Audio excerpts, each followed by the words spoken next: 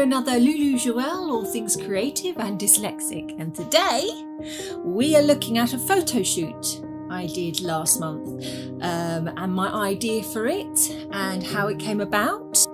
And this is about beauty and etherealism. Would you say that word? I don't know, but um, just very beautiful, like one of those old Renaissance paintings, you know, that kind of idea I create these beautiful headdresses, and this is the headdress that I chose. Uh, the lilacs, the creams, the purples, the blues, just a stunning headpiece, one of my favourite ones.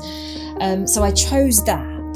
When looking at the headdress, I really wanted to get something that really matched it. So this dress I found is really beautiful. It looks very ethereal and very pretty and that's kind of idea of the shoot was something very graceful beautiful and elegant and lots of flowers. And I've done a beautiful set design for this as well which you will see with uh, wonderful colours um, all lighter muted not so bright and more pastely.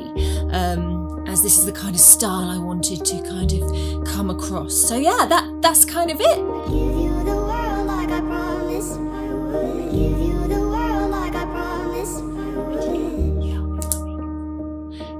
for listening, thanks for watching. If you enjoyed this video, please like and subscribe, and I'll see you again for another Lulu Joelle. Bye bye now. I give you the world like I promised I would.